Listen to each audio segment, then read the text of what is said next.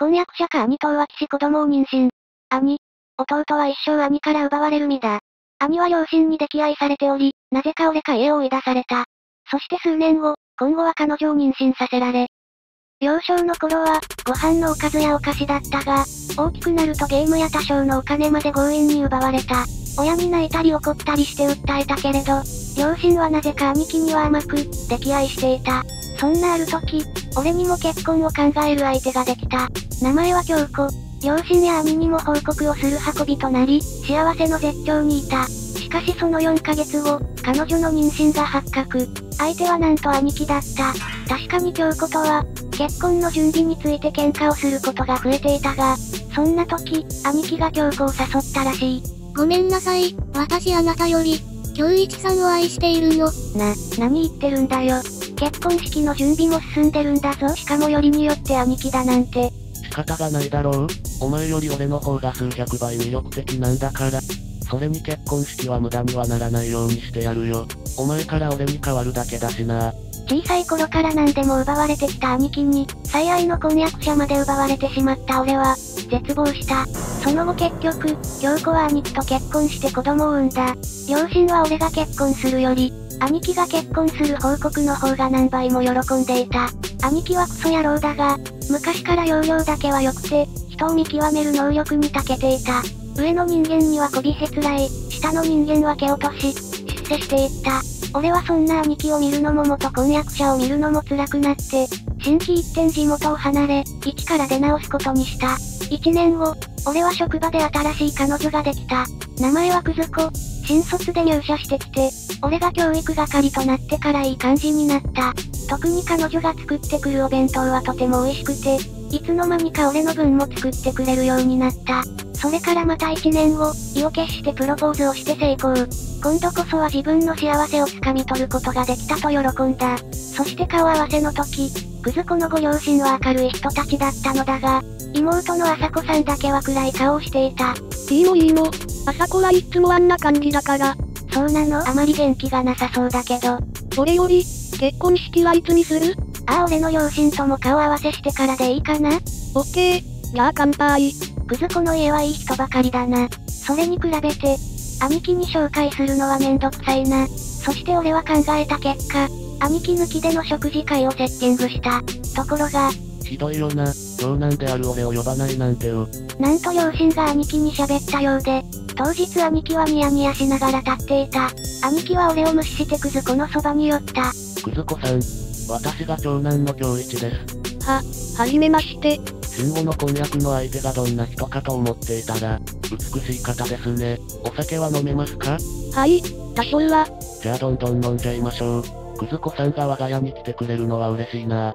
兄貴のテンションがやたら高くて、嫌な予感はしていた。しかしさすがに奥さんと子供がいるんだし、手を出すことはないと思っていた。だが、俺の考えが甘かった。顔合わせから半年後、仕事が忙しくて、なかなかくず子と会う時間が取れない日々が続いていたある日、その日はカフェで結婚の打ち合わせをする予定だった。あ、あの話があるの。どうした？改まって話って。私妊娠したの。は？なんでどう考えたって計算が合わないよ。実は。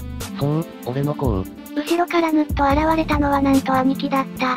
京子の時のことが思い出されて、俺は心臓がバクバク言い始めた。妊娠え兄貴の子供？現実を受け入れることができない。しかも兄貴はすでに京子と結婚して子供までいる。何言ってんだよ。兄貴には京子も子供もいるだろ。これ不倫だぞ。大丈夫だって、京子はお前に返すから。は？いやー、飽きちゃってさ、お前の恋人を奪ったら面白いだろうなって、声をかけたら、あっという間に俺に夢中になっちゃって、子供もできたし、仕方なく結婚してやったけど、もういいわ。十分楽しんだしさ、俺は今くず子に夢中なんだよ、な？うん、私も愛してる。だからお前が強行引き取って、俺がくず子と再婚する。それが一番いいだろ？ふざけるな。そもそもそんなこと、京子が納得するわけないだろ。あいつはいいって言ってるぜ。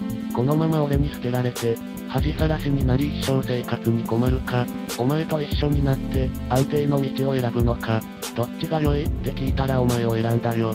よかったなそんなの納得できるわけないだろ。そう言うと俺は、兄貴たちをそのままにして帰った。こんなバカなことがあってたまるかと、彼女の両親に話をしに行こうとしたが、そこには兄の車があり、中から楽しそうな笑い声が聞こえてきた。俺、何やってんだろ。何もかもどうでもよくなり、彼女の実家に背を向けて歩き出した時、待ってください。あのよかったら少しだけお話できませんか？後を追ってきたのは妹の朝子だった。お姉ちゃん、不倫したんですよね。ごめんなさい。君が悪いわけじゃない。それに実は二度目なんです。婚約者を兄に奪われたの。俺は朝子さんにこれまでの経緯を話した。そうだったんですね。じゃあ私も秘密の話をします。実は、あなたへのお弁当や、家での料理はすべて、私が作っていたものなんです。え、それに、姉はあなたと婚約するまでに、他にも何人もの人と関係を持っていました。そ、そんな、じゃあ俺の兄貴だけじゃないってこと？そうです。私は姉を本当に軽蔑していました。私も早くあの家から飛び出したかった。なんか俺たち似た者同士だね。そうですね。それから3ヶ月後、兄から電話がかかってきた。いつまで京子を待たせるんだよ。京子からお前にも連絡行ってるだろ何かよ俺、本社に異動になって年収が700万円届くんだ。おめでとう。お前じゃ、絶対届かない金額だろ？俺、忙しいから電話切るぞ。まあ待てよ。俺はクズ子と暮らす。お前は京子と暮らす。これで全てうまくいくじゃないか？まあお前と暮らし始めたら生活費の援助は減らすけどな。さすがに年収700万でも、生活費を二重で払い続けるのは難しいからな。ってことで、京子とうまくやってくれよ。俺が無言だから、京子と再婚すると兄貴は思ったようで、一人で勝手に話すと電話を切った。しかし俺はあえて喋らなかったのだ。そんなこと気にする必要もなかったから。俺はあれから、くず子の妹である朝子さんと急速に距離が縮まり、付き合うようになったのだ。しかも俺はタイミングよく海外に事例がおり、朝子さんと一緒に移住することになった。もともと外資系で働いていたので英語は堪能だったが、知り合っていくうちに朝子さんも英語教室で働いていて、英語はペラペラだということが分かったので、何の問題もなかったのだ。アメリカに移住した俺たち二人は、邪魔者もいなくなりひっそりと結婚した。すぐに子供もでき、朝子さんは現地の人に、日本語教師として教えるようになり、そのわかりやすさとネイティブな英語で、教室は大評判になり予約待ちになるようになった。俺も俺でバリバリ働いていたので、気がつけば兄の年収なんて大幅に超えていた。そんな時、日本のディズニーに旅行に行くことになり、東京の街並みを観光していると兄貴と出会った。パッと見ただけではわからないくらい、兄貴は落ちぶれていたけど、俺の姿を確認するなり。どこにいたんだよ。お前のせいで俺がどんな目にあったか。と俺に突っかかってきた。話を聞けば、あの後、俺がいなくなったために京子は、離婚しないだの慰謝料よこせだの、と言い出し、くず子の方も結婚しろと言い、揉めに揉めて二人で会社に乗り込んできたらしい。そのおかげで悪事がバレて兄貴は首に。さらにその噂が広まって再就職さえ難しくなり、この何年もアルバイト生活をしてる。一方で二人分の慰謝料と養育費で生きるのもやっとらしい。知るか、そんなこと。全部自業自得だろ。お前今どこにいるんだよ？